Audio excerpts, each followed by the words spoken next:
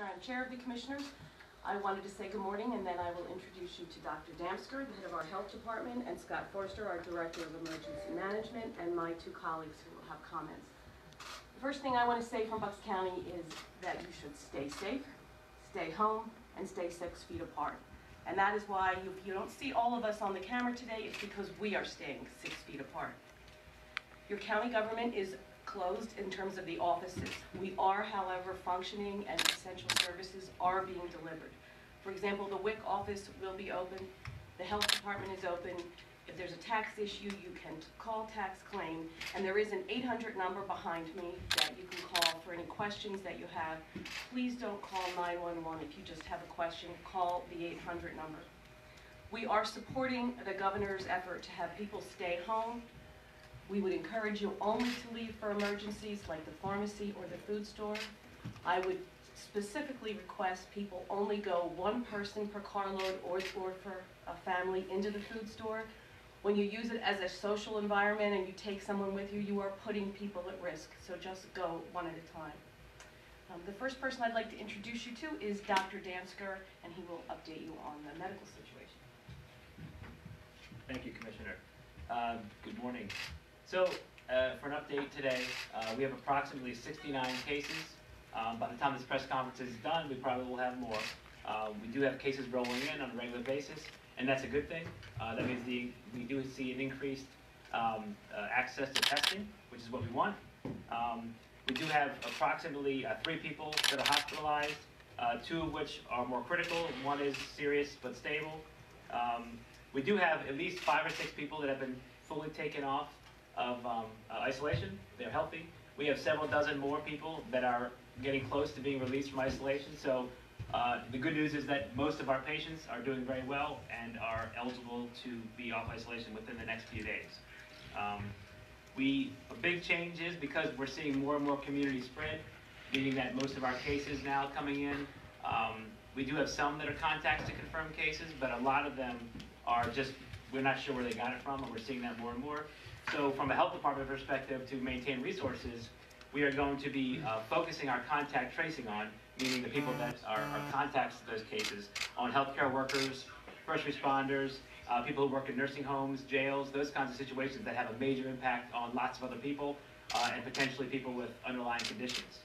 Um, we want to really emphasize to people that uh, if you aren't really sick, if you can stay home and you're feeling well enough, but you're just nervous, you may have coronavirus, those are not the people that we want to rush out and be tested.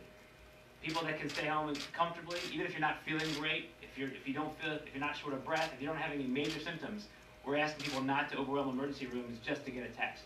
Now that said, if someone is not feeling well, if they feel like they're, they're, they're short of breath, they can't go up the stairs without without um, without being short of breath, those kinds of situations, high high fevers, of course, we encourage people to seek medical care.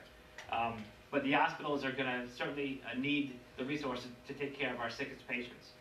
And, um, you know, I, I think it's very important for people to realize that the testing capability is growing.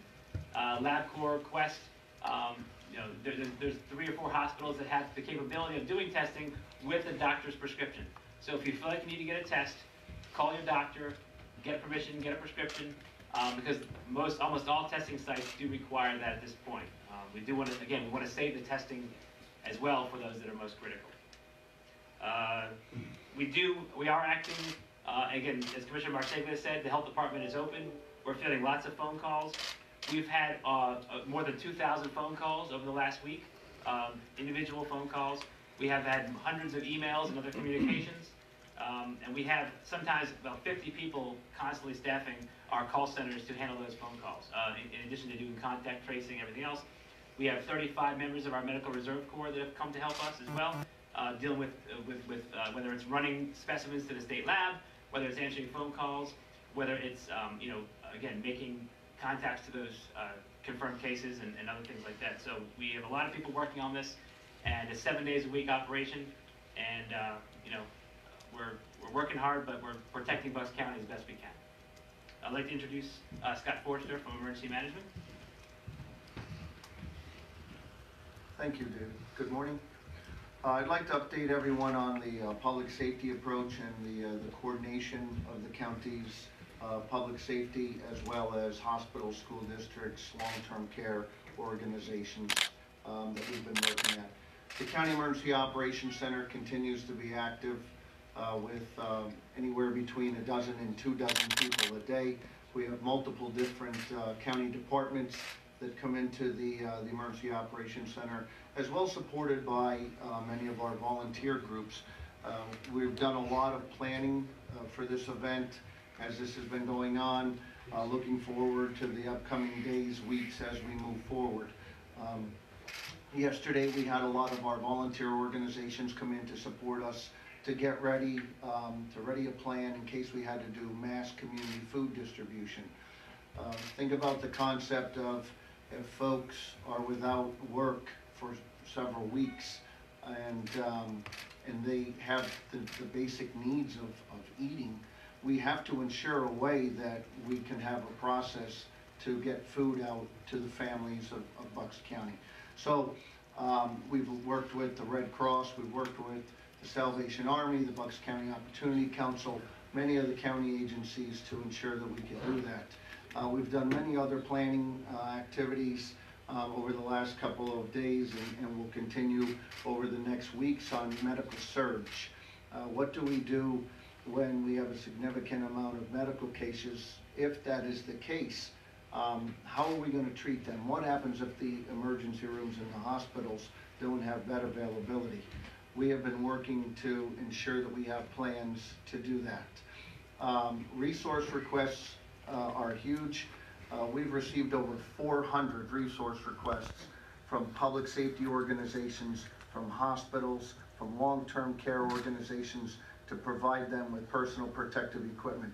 We're working very diligently to provide them with N95 masks, uh, surgical gowns, uh, face shields, gloves, all kinds of things in order to protect their, their person as they take care and treat uh, the ill people um, from the, the COVID-19 or people who may po- uh, possibly have the, the COVID-19. Uh, we've already given out um, thousands of, of N95 masks and, and uh, other personal protective equipment. Um, we have, uh, we're expecting uh, about 30,000 more N95 masks to be delivered, as well as other personal protective equipment that we'll be giving out. There are some resource, sources that are still very scarce, and it's difficult to acquire those, but we continue to work to, to do that.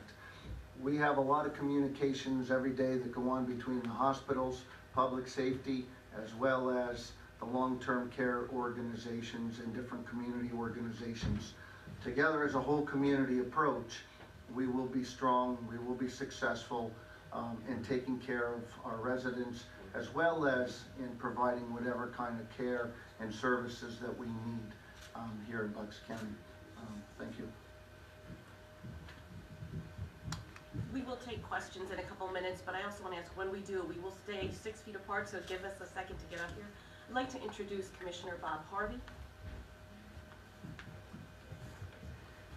Thank you. Uh, I want to commend first off the employees we have here in this county who have been working uh, incredibly hard. Uh, The two gentlemen who you see here, Dr. Dan Damsker and Scott Forrester, who just spoke, uh, have really been uh, putting in uh, in- in unbelievable hours, uh, and their staffs have as well. Uh, The room you're in right now, after you leave, will get sort of repopulated by the emergency personnel who are at these tables, at these laptops constantly, trying to prepare us for this um, we hope anyway, once a century kind of uh, situation. In terms of the economic impact, uh, we know obviously a lot of focus on what's happening uh, in Washington, uh, and we don't yet know what uh, the recovery package will look like. Here at the county level, we are doing what we can to help businesses, business owners, employees of those businesses that have been affected by this, to try and and bridge this gap from now until sometime uh, when there's a, there's a recovery. Um, We've already worked with the Bucks County Development Authority uh, on a package uh, that will provide uh, zero interest loans, small loans to businesses uh, in Bucks County. Uh, Because of where that money is coming from, because the fund it's coming from, there are some restrictions on where it can be used. And that sort of segues into the next point. We're hoping that whatever comes out of Washington and whatever comes out of Harrisburg will allow some of these funds, which are restricted to only certain kinds of activities and only certain areas. Uh, We're hoping those restrictions get lessened uh, to make it easier for us to help these businesses that are suffering. Um, We also want to make sure that people understand the Consumer Protection uh, Department here at Bucks County uh, is still operating. One of the things they are doing is investigating cases of price gouging. And so if you're hearing about stores, uh, if you're hearing about businesses that you believe are uh, engaged in that kind of illegal activity, uh, you can reach out. Again, that's one of the options for the phone number that's over my shoulder.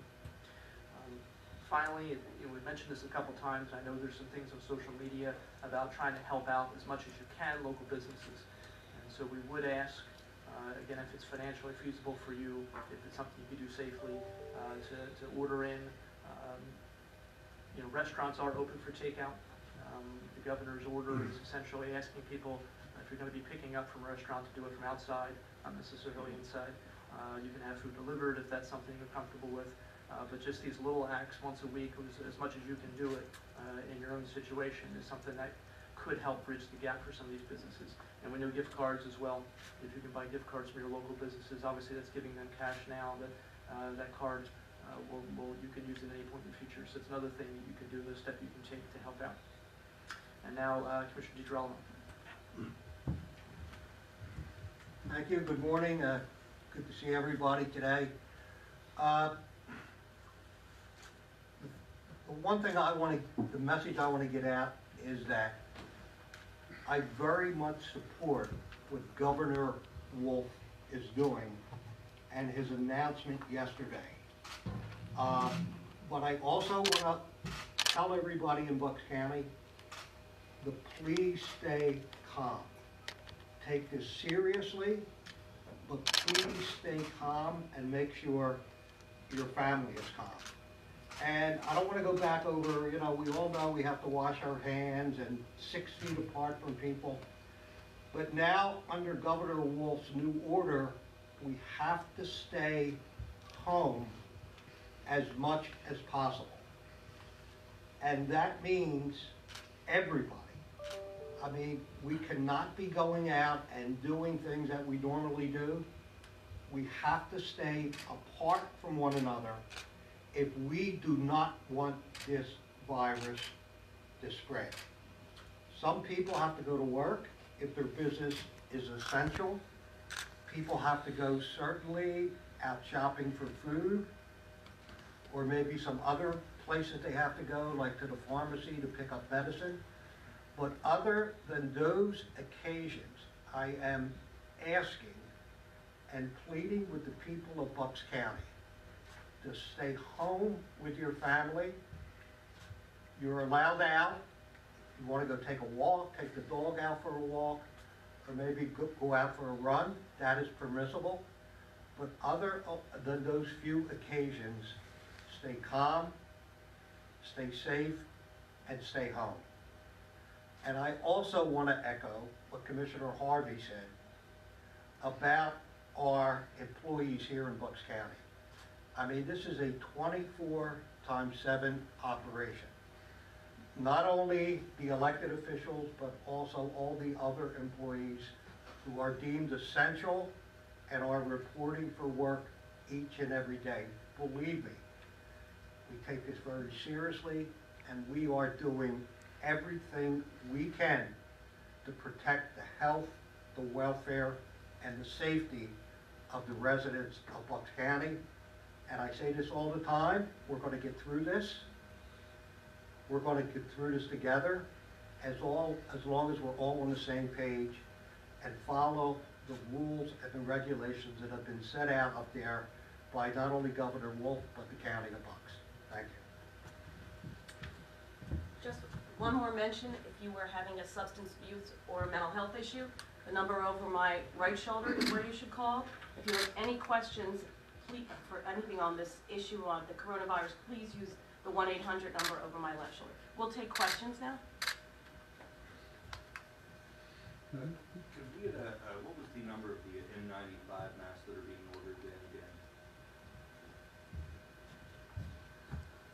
So the N95 masks, we've delivered about 7,000 so far, and uh, we have about 30,000 um, that we have ordered or have requested from the Strategic National Stockpile combination.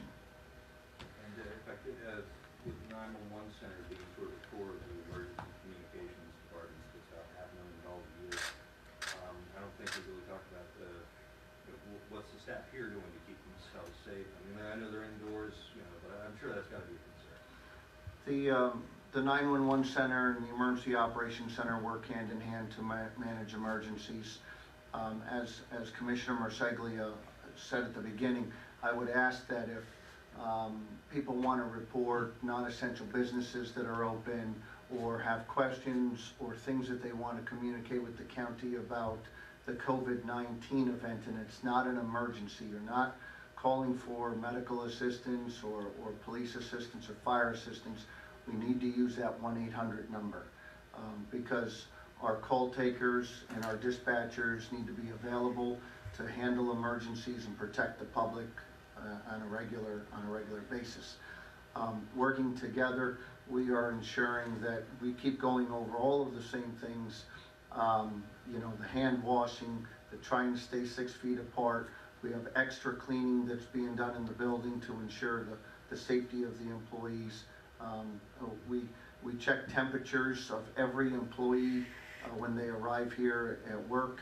And if they leave uh, the property to even go and get a coffee, when they come back, they have their temperature checked again. Um, We are doing the best that we could to ensure that we have the, uh, the employees protected. One last question, I know that it's uh, not uncommon for police officers to also respond on scenes of emergency calls with, with ambulances, depending on the situation. Um, These would be municipal police forces, so maybe it's outside of this purview, but is there any idea, is that, is that still the standard practice, or are the police trying to keep their distance from potentially sick people? So it, it is the decision of the local police department, but to say that um, we have sent out guidance to local police and to the fire service that runs quick response squad calls um, with the EMS to evaluate the types of calls that they still want to respond on. Um, If it's a flu-like symptoms call or a febrile respiratory distress call, um, maybe you don't go. Maybe you don't expose your um, your police officer or your fire personnel to that situation. The least amount of people that we could expose to somebody that may be COVID-19, um, the better off we'll be.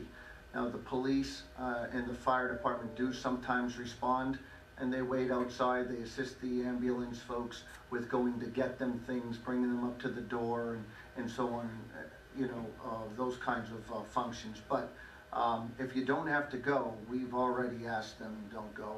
And a lot of the municipalities have already changed their response protocols, that only ambulances are going to medical calls and not the uh, fire and- and police um, response for those types of incidents.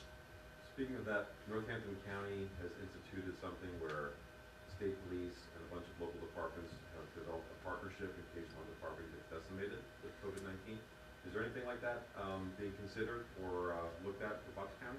Yes, the uh, police chiefs had a meeting um, with, uh, with Dr. Damsker, with the district attorney, and they have regular conversations here with the EOC. All of the municipalities in Bucks County can receive mutual aid assistance from other police departments, ambulance services, and fire departments. Um, We do have mutual aid agreements in, in place to be able to do that. Um, And, and we, we support each other with response uh, every day. No, the state police or just other, other departments? Uh, State police will respond to assist municipalities as well when requested. I want to ask about the stay-at-home order. Uh, how is it being enforced? I know people can go out and walk their dogs and go for a run. What can't they do? What what are we? What's the difference between now and last week with social distancing with this stay-at-home? So a lot of the actions are, are still the same. Um, and, and what we're asking people to do is still the same. We, we did not change our posture except for, um, we're trying to make it more stringent for people to stay home. We still want people to stay home. We still want people to do social distancing. Uh, we understand people need to go to the gas station and the grocery store and the pharmacy and to the doctor's office. But if you don't have to go out to any of those essential, life-sustaining services, then, then you should stay home, other than maybe going for a walk or run or something in the neighborhood. But we don't want people going out in groups. And if people do go to the grocery store, you don't have to take the whole family. Maybe just one person go, so that the aisles of the grocery store are not so congested, so that you, you can keep that distance and there aren't so many people, um, coming together in one location. Just I want to answer that also. We have closed our parks, so that is one new thing. The other thing is if anybody sees a business that they don't think should be open, they can call that one eight hundred number and report it, not dial nine one one.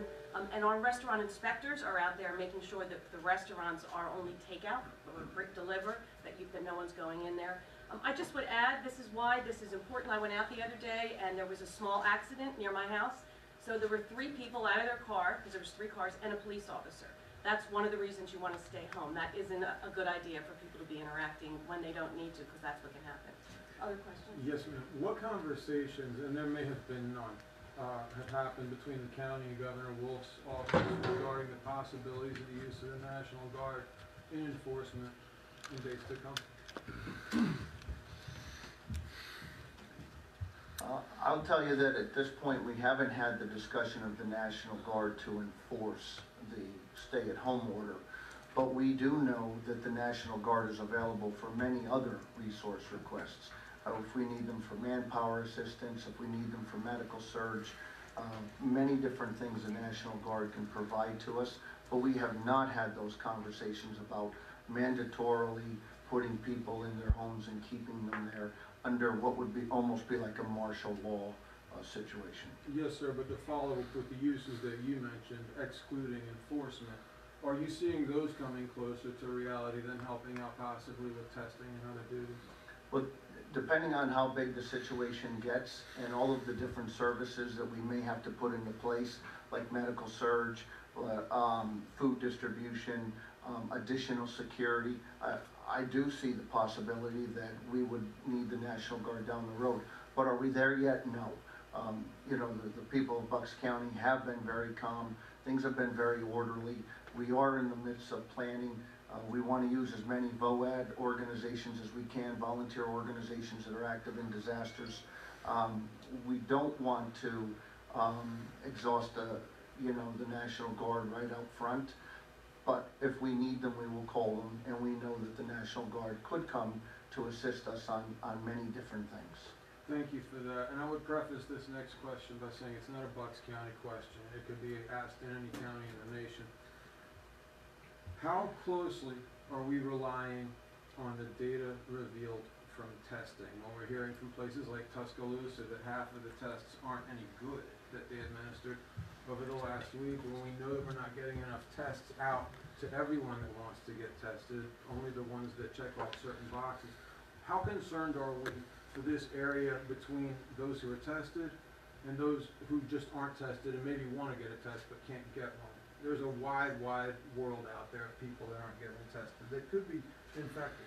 Yeah, we, we see this on a regular basis. Um, for instance, let's say we have a confirmed case and they have, uh, you know, they live with their son. And their son develops mild symptoms that could be could be coronavirus, it could be the flu, it could be other things. Uh, if that son in that household is not, not, not that sick, um, we're asking at this point, we don't believe you need to be tested. So are we, we're probably missing cases that way. Right. Uh, we're underreporting. Um, but the problem is, as at this point, if we ask all those people to run to urgent care or to run to their doctor or the, or the ERs to get tested, um, we are now taking up valuable time and resources from the emergency room. So, yes, are we undercounting the cases? We probably are. Um, and I think you'll see over time, when all those cases get counted, it will lower, uh, I've said this before, it'll lower the fatality rate because we're missing some of those things. But we also, to- it's more important at this day, you know, as of, as of today, we do need to conserve the testing and the medical staff that are doing them. And, um, and I'll, I'll reemphasize that again. If you are at home, you're doing okay, there's no reason for you to get tested. You could have a, there's, there's a whole respiratory viral panel that we have. There's, there's a lot of viruses going around. We've had people that are close contacts to cases that we assume they are, but they get tested for whatever reason or another, and they're negative. So not everybody with a runny nose or a fever or a cough has coronavirus, and I think that's really important for the overall community to understand that as well. Um, even close contacts to cases may not have it. And Doctor, thank you for all that. This is my last follow-up. Are you at all afraid that that gap between, that, that the gap in testing may turn around and come back to bite us? Um, if we all stay at home and do the things that are being told, um, even if those people are positive, you know, if they're staying home for seven days and they end up getting better and they're no longer infectious, um, you know, those people shouldn't play a major role in transmission, which is the whole point of the stay-at-home order. It takes all that into account. So, um, if you're staying at home, even if you have coronavirus, you're not out there spreading it, except maybe to your family members, maybe not. Um, and if we do this for a long enough period, for a couple of weeks, those people's viruses won't get out into the public. So I agree with you that there's a, there's, there's definitely a gap. And I think over time, uh, we'll be able to capture more of those. When testing becomes so available that anyone can get it, um, and we open testing sites that are maybe not at ERs and uh, places where they're only open for testing, and there's no, there's no issues with um, resources, then you'll start to see more people getting tested that'll be positive and say, hey, you know what, I had a runny nose, I wasn't feeling that bad, and we can do more data epidemiologically that'll help us figure out, you know, how many people really were infected. But we're just not there yet. Thank you. Sure. I wanted to ask about stay at home again. How is it going to be enforced? Are, are people going to be broken up if they are gathering in groups? Or what happens if the number gets called? Does the police come and shut the business down? What happens? Um, so we, we did have, the last two days, yesterday and Sunday, uh, we participated in conference calls with the governor, um, and Secretary Levine and other, county officials from southeastern Pennsylvania. In fact, we'll have another conference today at twelve o'clock. We're having regular, for the past two weeks almost, regular conference calls with the southeastern Pennsylvania elected officials, the collar counties and the city. Um, the question of enforcement, uh, did come up to the governor. Uh, it is being left up to local law enforcement. Um, As he said, and, and we'll echo this, we're, we're hoping for certainly progressive, uh, enforcement of this. Uh, if police departments are seeing people congregated, uh, in areas, if they see, you know, a lot of kids out, you know, playing basketball on, on, outside because it's gonna be somewhat nice, uh, for most of this week, um, they're, they likely would, would certainly just ask those kids, just go home, you're not supposed to be out. Um, you know, if they see people congregating outside of some business, they may just remind people, stay six feet apart. We're also asking business owners to do that. If you have people waiting outside your business for, to pick up food, you know, please just remind them, try to stay six feet apart. You know, um, but as of right now, it's, it's, it's really being left up to local law enforcement.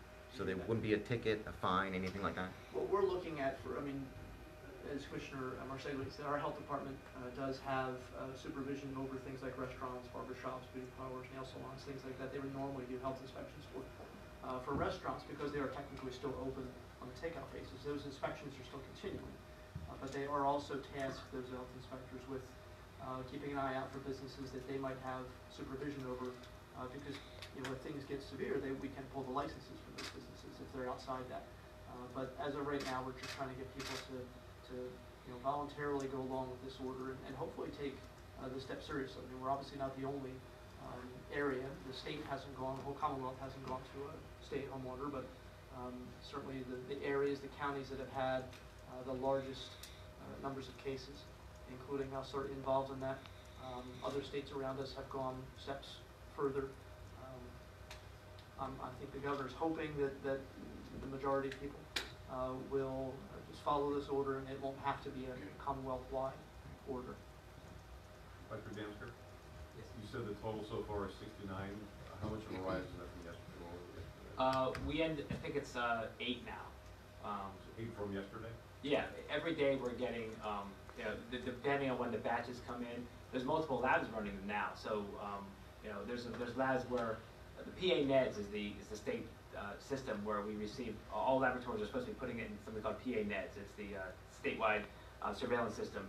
And some of the labs are relatively new at this, so they're, they, they're taking twenty-four hours to put them in the system, or they're calling us. So we're getting lab results of a lot of people that we don't know about, clearly. When we first started doing this, we were ordering all the tests to the state lab, and so we knew who we were testing and those positive, but now we're getting results just, you know, this person, we get a call from a hospital, we get a call from a laboratory, we get a call from urgent care, um, and, and so we get, we get literally results in throughout the day. Um, and yesterday we had over 20 cases, and anticipate that those numbers are probably going to continue, eh, you know, just from the increased testing. Um, but as I, as I mentioned earlier, the vast majority that we're getting are people that are not that sick or mildly ill or moderately ill even. Um, and that's a, that's a good thing, I think, for the public to hear, is that um, while we do have a few cases that are hospitalized uh, pretty seriously, um, the overall numbers are not those people. So that's, that's a little bit of good news. We hope that continues. So eight from yesterday, eight more than. Yes. Dr. Dan, the uh, three people that are in the, the hospital, um, can you recap the condition again? I one Yeah, uh, uh, two are, are more critical and one is stable. I have a question about businesses, um, perhaps it might be for uh, Commissioner Marseglia or uh, Commissioner Harvey, but um, we have the list of the life-sustaining businesses uh, that came out when the governor uh, made the order. Uh, They use uh, titles from the NAICS code. Um, If I'm, if I'm looking at that list, it doesn't really tell me much. If I'm going down the street and I see a business that's open, I can't look at that list and say, well, they shouldn't be open. Is there any, is there any way that, can, is there any clearer guidance? Like if we see the, the candle shop on the corner, is there, that, Well, the candle shop, I would say, is probably not life-sustaining. You can call the number or send us an email and we'll ask. Just as an FYI, this morning I saw a lot of landscape trucks out, so I called and found out. They are okay, they can go out. There may not be life-sustaining, but they're outside. So, I- you know, we gotta take it one at a time, there is a whole list. Um, another question, is there a way, do, do first responders know, are they told that they're responding to a potential COVID-19 case when they're responding? Or, So the 911 center has a uh, process where they ask certain questions. Uh, They go down, it's, it's like an epi checklist, whether people have traveled, do they have certain uh, symptoms, things like that. We do then provide to the, to the responders that type of information. Um, So, I mean, we can't tell them for sure they're going to a COVID-19 case, but we do, we do ask the right questions uh, the best we could to, to kind of uh, figure that out, and then we do provide that information to the response organizations as, as they're going. Has the county seen an uptick in 911 calls and responses or a decrease with more people staying inside? Actually, the, the nine-one-one call, um, count is actually lower, because, uh, we have had most of, a lot of the people staying inside. We have less traffic accidents, um, you know, less general types of emergency nine-one-one calls. So our call volume is down a little bit, but it's, you know, it goes in, um, ebb and flow. So sometimes it's up, sometimes it's down. uh, is the same for police in terms of them being notified if they're responding somewhere with a possible COVID-19? Yes, yeah, same, same thing. Jackie Forster, Well, I just want to mention one more thing to add on to that. Um, we do tell all of our cases, um, uh, that, that, of our, all of our seventy cases that we can tell, if you do have to call nine-one-one, if someone in your family has to call nine-one, to let them know that you are coronavirus positive, and that has actually worked. Uh, just the other day, uh, there's been two instances now, uh, where someone was in the home who was coronavirus positive, and they told the, you know, arriving first responders, and so they were, they knew ahead of time, which is really good. We, we, we, we tell that to all of our cases. Please let 911 know, 911 know if you are positive, and that gives our first responders an opportunity to make sure they're using all the proper PPE and protect them going forward. But I'm, I apologize, you're right. Well, now, I, I had a question on the, uh, the call types, and this might, um, I, I don't know who before, uh, I've got a database of seven years of nine-one-one calls in the county, so I'm basing this off of that. Uh, respiratory distress is among the top five calls for EMS especially.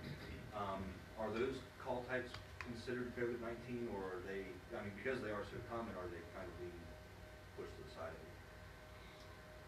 Well, there are other uh, symptoms of COVID-19 than just respiratory distress.